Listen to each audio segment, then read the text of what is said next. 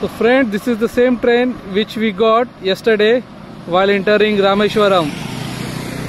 So it's 6:40 currently. This is the Madurai Express which depart from Rameshwaram station at exactly 6 o'clock.